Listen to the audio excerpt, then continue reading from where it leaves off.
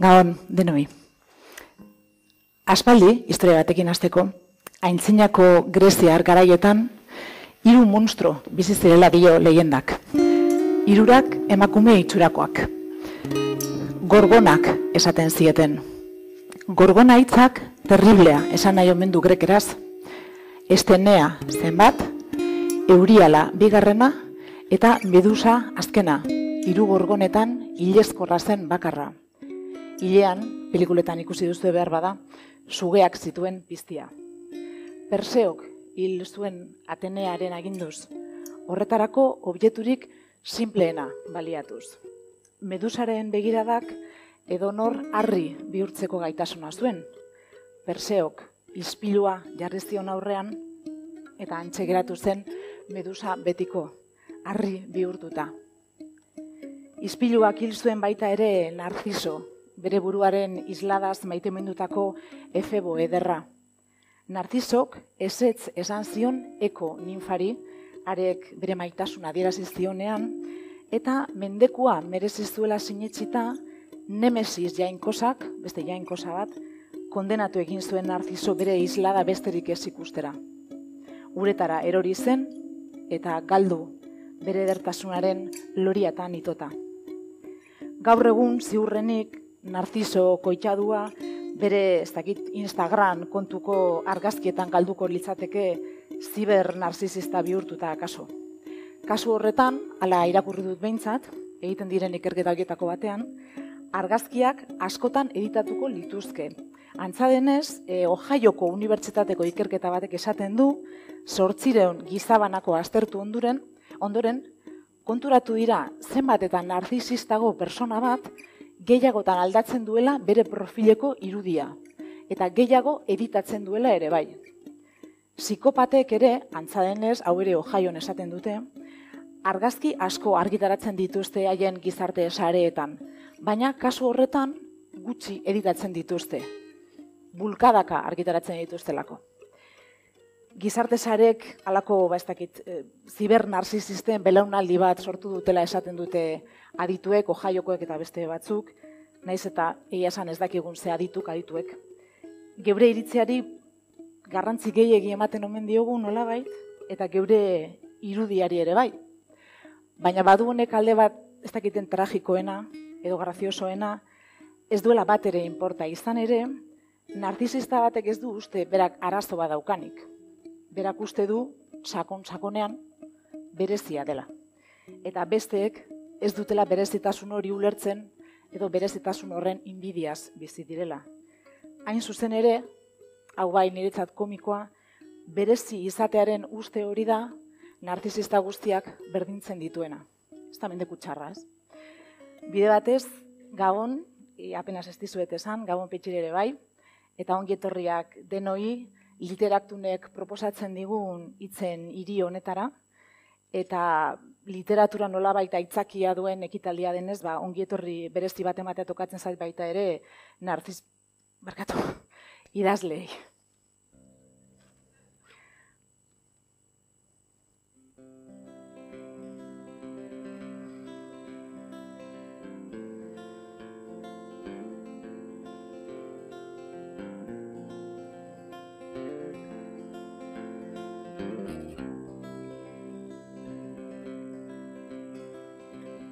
Poliki poliki banan banan.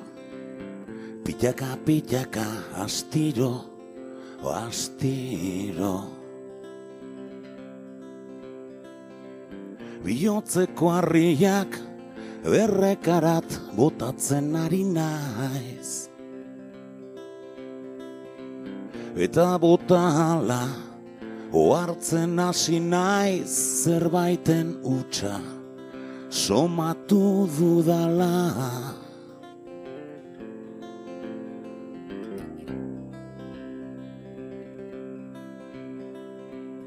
Poliki poliki banan banan Pitaka pitaka astiro astiro.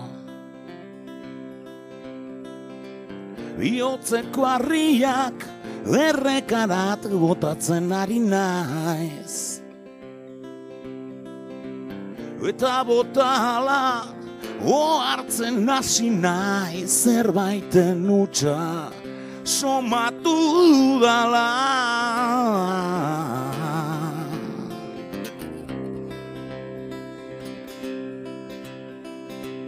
Eta baratzeak harririk gabe ez direla waratze Eta baratzeak Arririk gabe ez direla waratze Ez direla waratze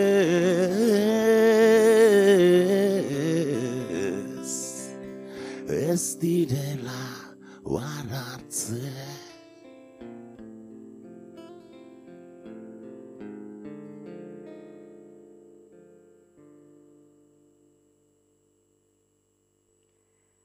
udaberrian zarautzen egiten da literaturia.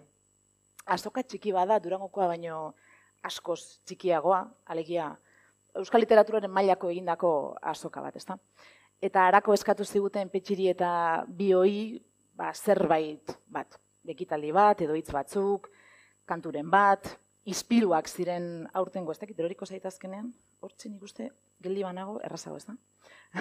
Izpiluak ziren aurtengo literaturiako gai nagusia, eta izpiluei buruzko emanaldi hau osatu genuen orain nola baita esatearen birziklatuta zuentzat dakarkioguna, ez? No, gipuzkoan birziklajea eta bat datoz gutxe gara bera ez da. Idazleo gainera oso birziklatzaile onak izan oi gara, ez? Lehiak eta bat irabazi duen narrazio basartzen dugu gero narrazio bilduma batean, hiru narrazio liburutek egiten dugu antologia bat, edo hartzen ditugu ba, novela baterako labur geratu diren, edo sobera geratu diren ideia batzuk, eta osatzen dugu esan dezagun performance moduko bat, hartu talentuzko musikariren bat, eta listo, ez, dena gonbidatuta. Idazle askok, areago, ideia bakar baten inguruan egiten dituzte karrera osoak, baita karrera onak ere obsesio berberari bueltak ematen.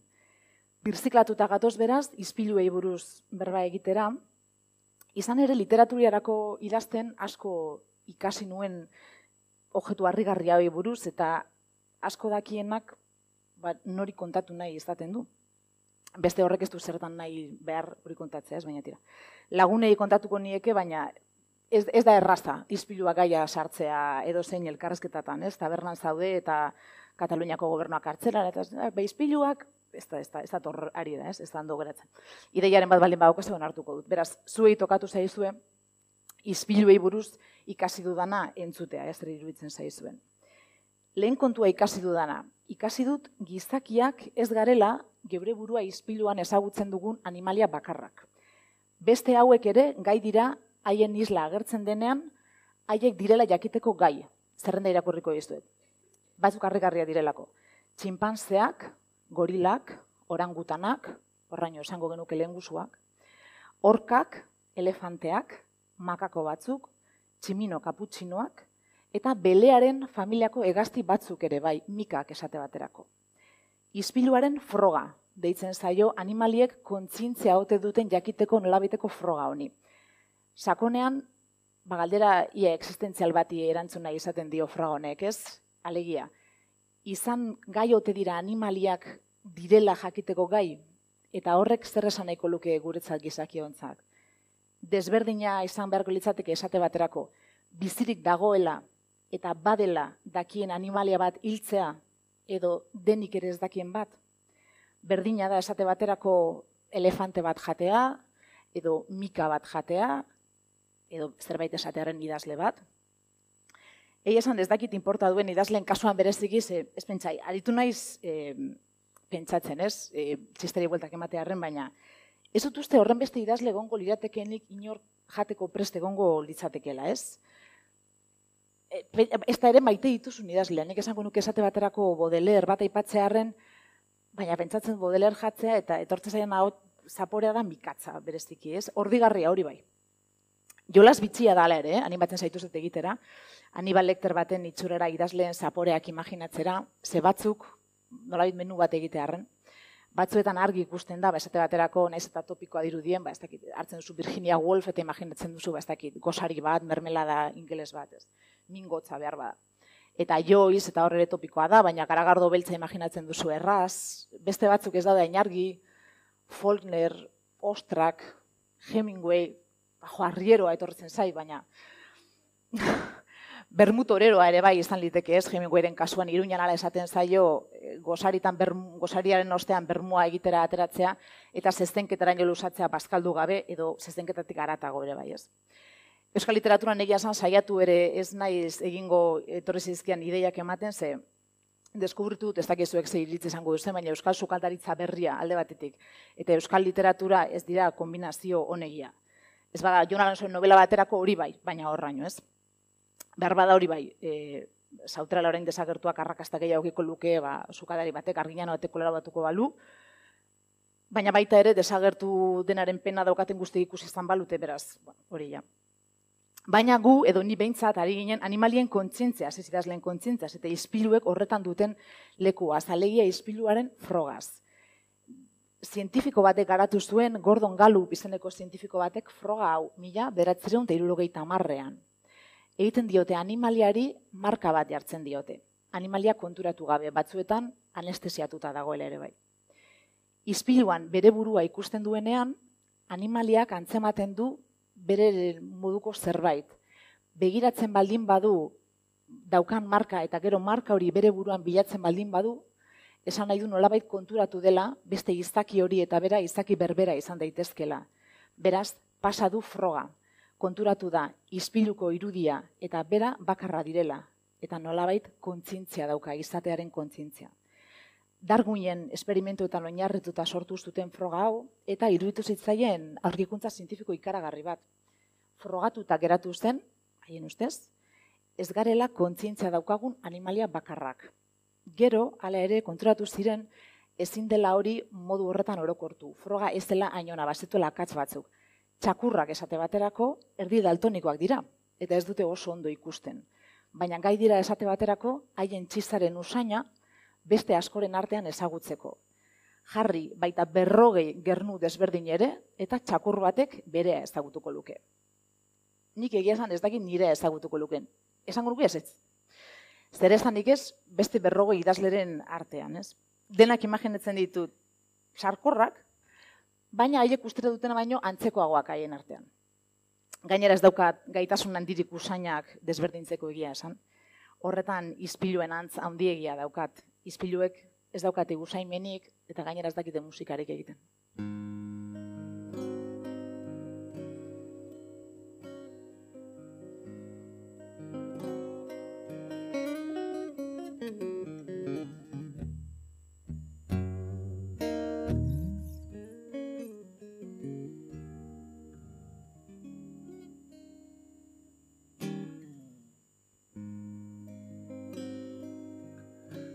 Zure zainetako dola Edan nahi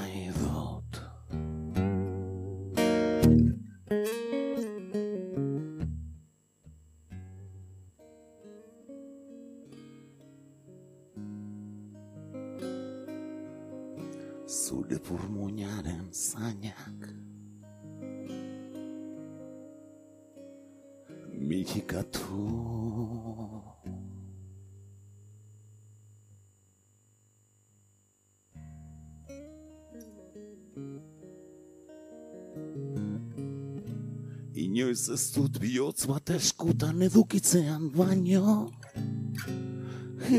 Eksitazio handiak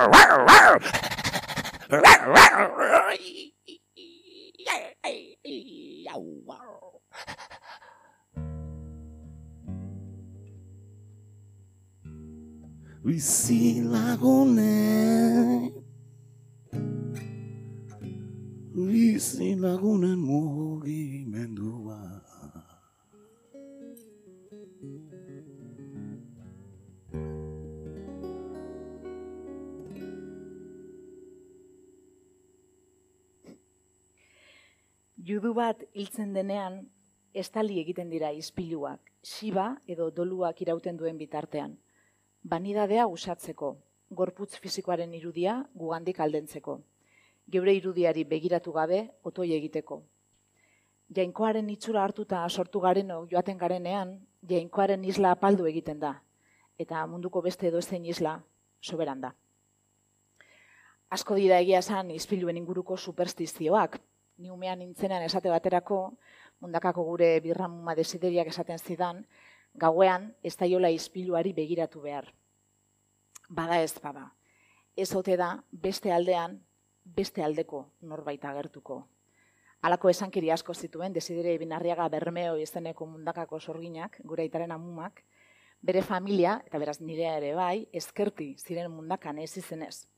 Eta bitxia da, ze eskertiarrak dira ispiluan bezala idazten duten gehienak.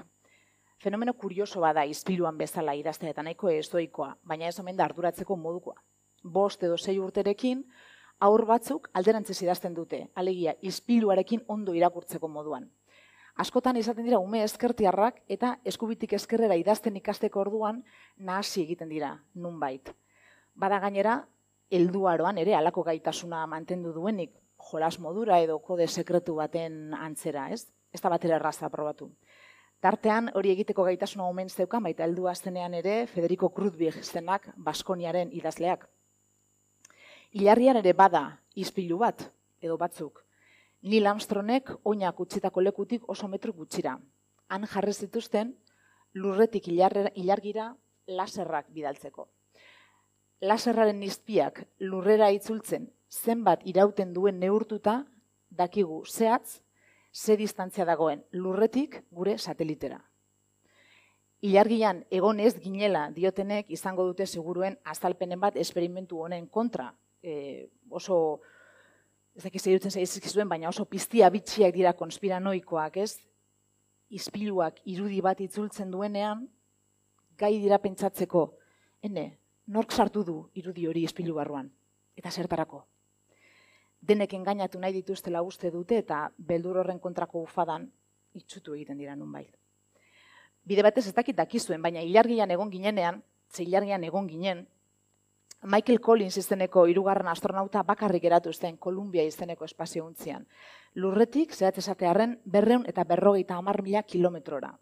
Aldrin eta Armstrong ilargira jaitsi ziren, Eagle kapsulan, eta egun batez gutxi gora bera bakarrik itxaron behar izan zituen inoiz, inork bizi izan duen bakardaderik absolutuenean, bere planetatik berrunda piku mila kilometrora.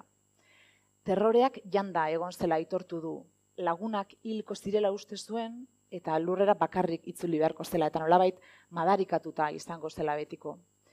Ez dion hori bai psikologikoki gero etorkizunan gehiagi eragin, ilargira joan ziren astronauta guztietatik, bera da hobekien moldatu den antza denez. Aldrinek arazoak izan zituen gero depresioarekin, depresio larriarekin, alkoholismoarekin ere bai, eta Armstrong ibili zen mundutik, ibili izan da mundutik guztiz erretiratuta. Eia esan normala, ez? E, trompeta modu horretan jotzea, saspitur irabaztea, ilargira joatea, tipoko itxadoa lehertuta, ez? Egon behar zuen persona bakarra asko da. Bakit oso txiste txarra dela, eh? Baina ez pentsa umore gehiago egin litekenik izpiluekin. Liga horretan txapelduren saria nik ustute manda dagoela, ez dakitak horretzen zareten Mark Sanaien pelikula batekin, sopa de ganso izeneko pelikula zoragarri bat, Groucho, izpiluan ari da, eta aurrean dauka, bere isla balitzi izpilu apurtuta dago, bere itxurara jantzita kamisoi batekin txikoa naia. Orduan hasten dute lehiaketan moduko bat, ea nork lortzen duen frogatzea bestea ez dela isla bat, bezik eta persona bat.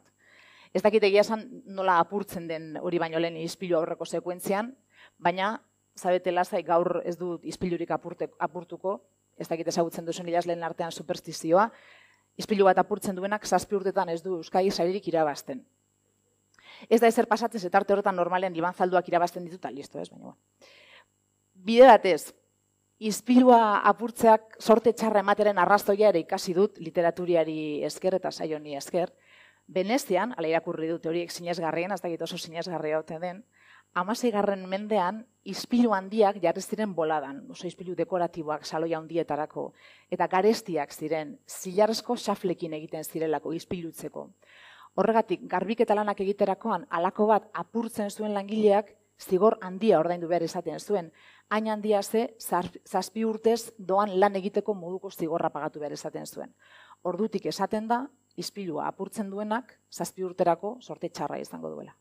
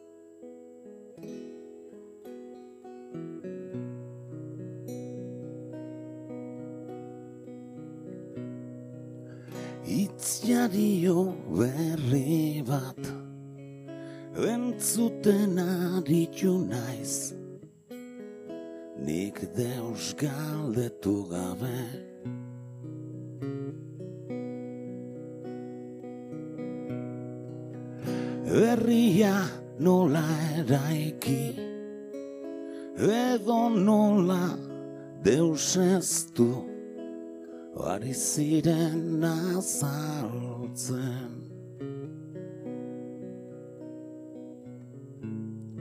Itzak bertzeik ez dira, agitzon gierranak, entzun nahi dituen arentzat.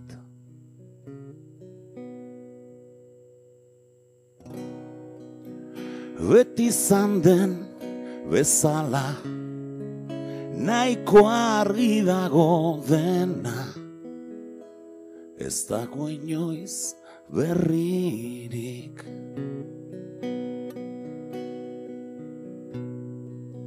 Nirea nirea da da zurea nirea zueren eurea zara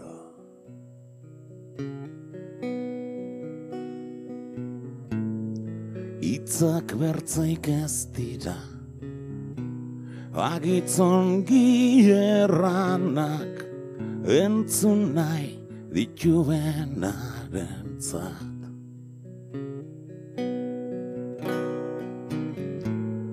Itzak bertzaik ez dira Agitzon gierranak entzun nahi dituen arentzat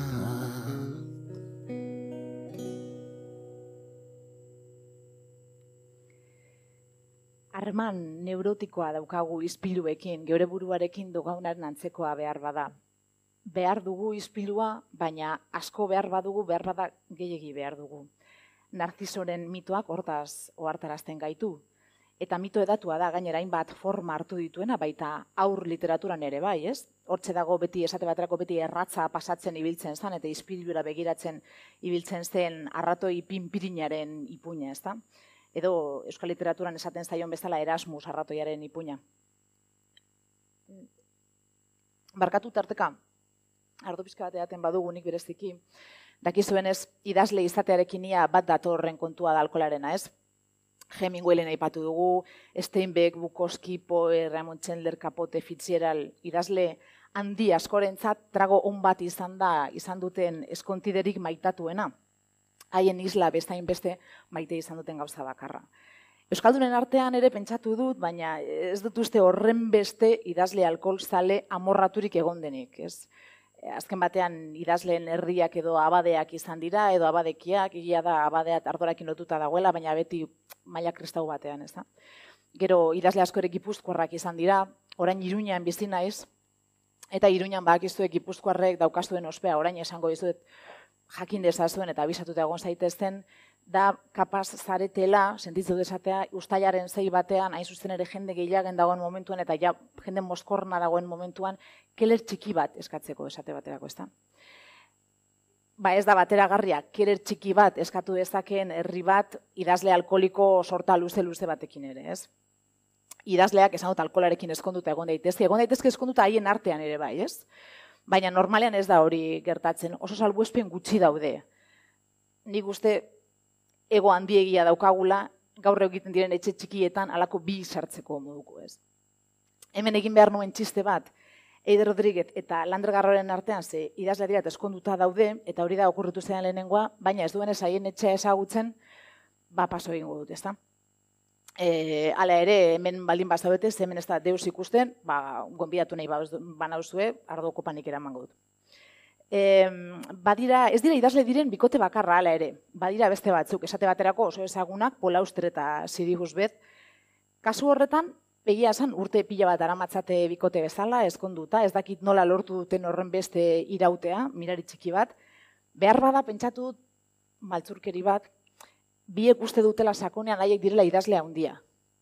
Eta horregaitik iraun dutela horren beste, ez? Gero bada beste paradigma posible bat, e, Bilbao agirre ditu diot, Katisa agirre idazlea eta Jon Bilbao idazlea baita ere, biak dira idazle handiak eta bikote dira ere bai, eta beraz hori da beste aukera bat. Hor, hala ere, badago dolabait salbu esmen bat, bakoitzak hizkuntza batean e, idazten du. Katisak euskaraz eta eta jonen gaztelaniaz. Beraz, bere kontinente pribatua daukate, ez? Eta hori gutxitan gertatzen da hori bai.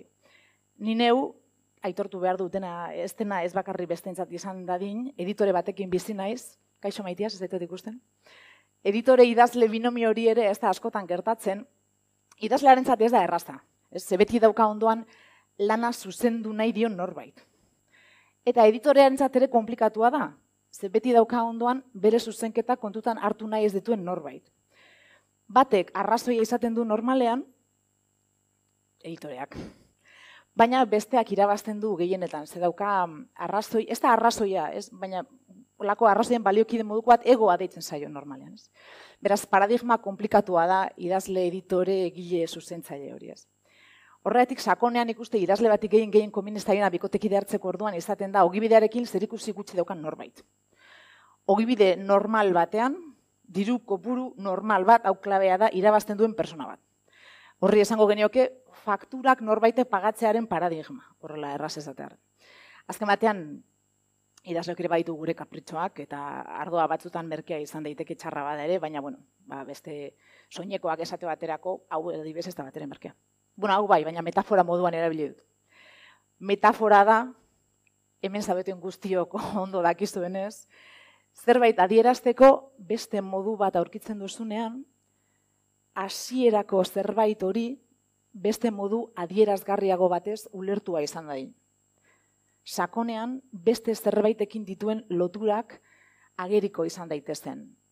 Gure begirada arreak urrea aurki dezan. Jodezagun, ispilua, bera, esate baterako. Literatura ispilua da. Horra, metafora bat. Esan nahi duena, literaturak mundua adierazi nahi duela medusari gertatzen zaion bezala, idazleak nahiko luke bere hitzekin, mundua begiratzeko duen moduarekin, bere begirararekin, aurrean jartzen direnak, harri bihurtu. Horra beste metafora bat. Baina bide horretan arerio asko ditu, besteak beste, izpiluari begira eta begira geratzearena. Mundua begiratu beharrean, narziso bezala. Hora irugarren metafora. Literatura metaforaz beteta dago eta izpiluz ere bai, eta metafora bihurtutako izpiluz. Somos nuestra memoria, idatzi zuen Borgesek. Ese quimérico museo de formas inconstantes, ese montón de espejos rotos. Izpiluak ziren baile inklanentzat errealitatearen metafora, baina katukaleko izpilu desitxuratuak izan behar ziren. Jarri esan zuen aintzinako eroiak izpilu konkortuen aurrean eta hortze daukazu Espainia tragikoa, esperpentua.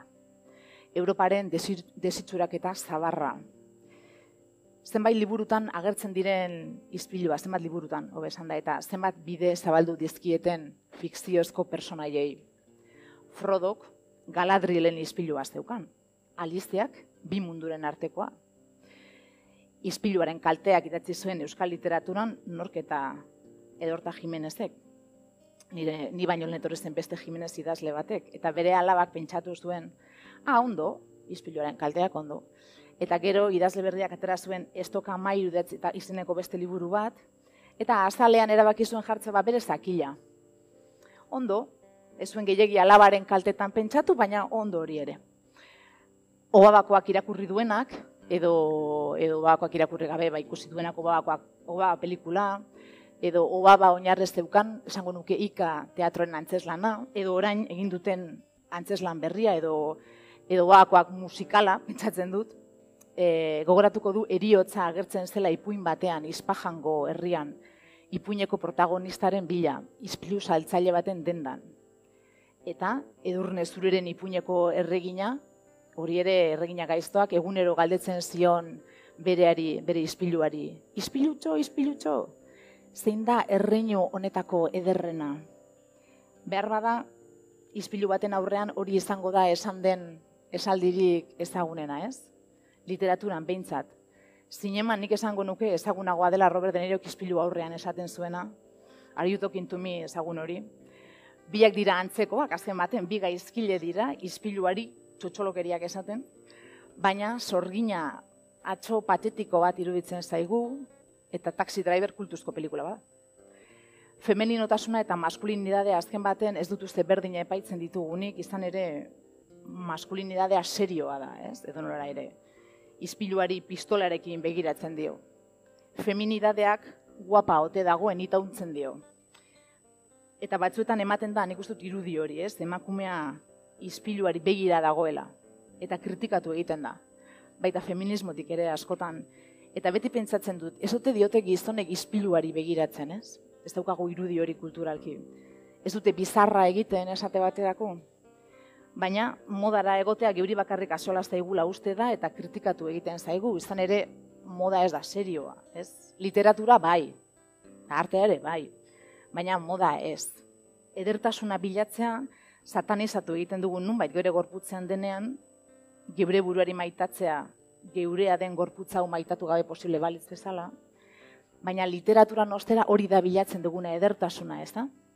Idazten dugu esate baterako, behira ze ederra elkar ezagutu genuenean tapoia erori zitzaion bizitzaren tintontziari. Miren agurmea bekaztalaren kodean. Edo idatzeko dugu esate baterako. Zure izerdia daramat ahoan, hortzartean. Leire Bilbao eskaner. Idatzeko dugu esate baterako. Ilkorra ez banintz, ez banekin noizbait isilduko naizela, ez nuge zertan mintzaturik. Ez ezkoa ez banintz, erantzun guztiak ez banitu zapustuko, ez nuke zertan galdeturik. Angel Erro, hilkorra ez banintz. Edo idatziko dugu, deserriaren patrikan gatibune euskan eskuak eta begiak, baina zure gutuna jasotzen nuenean, bustoiak ziren nire aberri bakarra. Arkaitzkanok, norbait zebilen zute eskaileran. Nire poema favoritoa gaztelania zentzun nuen lehen aldiz, eta ez duta astu, momentu batean esaten zuen, hay perfumes frescos como carne de niño, dulces como los oboes, verdes como las praderas. Literaturak badaki, bodelerenak bereziki, musika egiten izpiluek ez bezala. Mendian galduta bazaude, eta zure bila bazabiltza, izpilu bat erabili dezakezu, seinaleak egiteko. Kaleidoskopio baten barruan, hiru izpiludun triangelu bat jartzen da. Kolore eta forma desberdinetako objetuek irudiak sorditzaten. Libertinoen etxeak eta filmetako prostibuluak egiten dira zabaietako izpiluekin. Eta misterioz beteriko etxeak izpilu konkortuekin, edo eskutuekin, edo desitxuratuekin.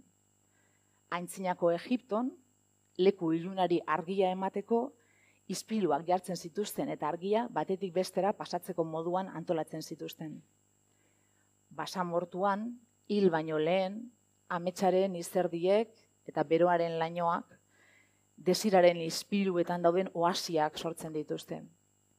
Submarinoetan, izpiluak laguntzen digu azaletik gora begiratzen. eta informatiboak aurkezteko telepronterra izpilu da. Kameran letrak ikusten laguntzen diguna.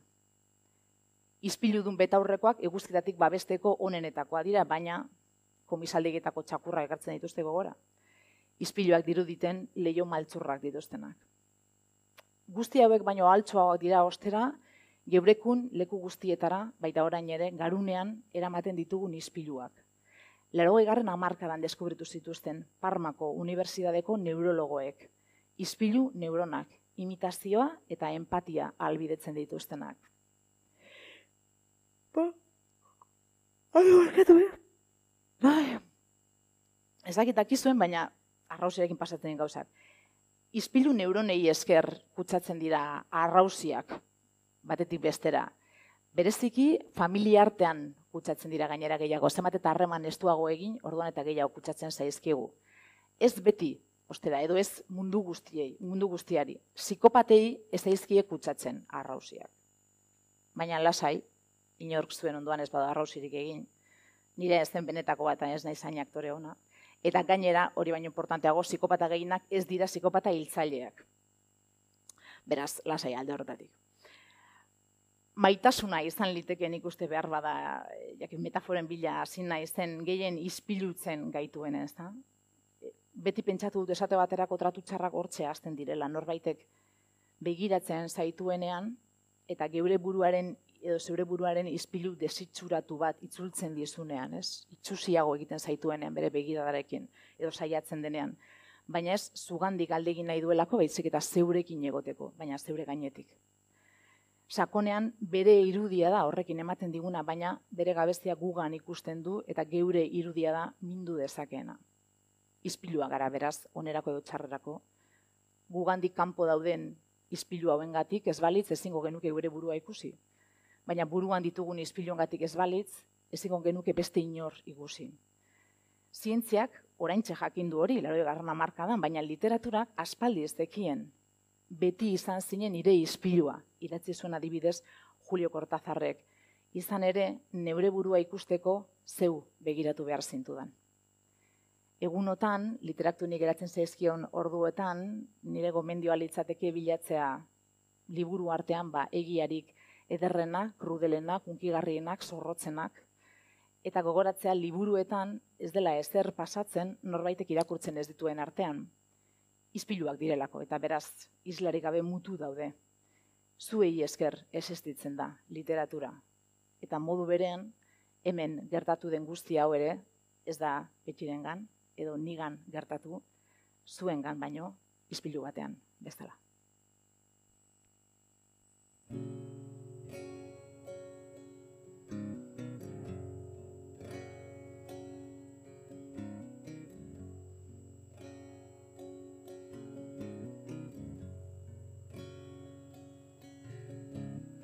Erramo zain ezkaraino ez egon Baina zerran guri zer den txarreta zer on.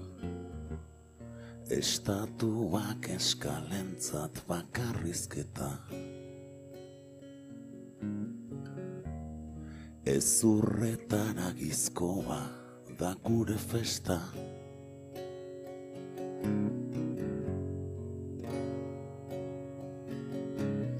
Ondondoratua, txarto oratua, Azturak badak izein den gure autua.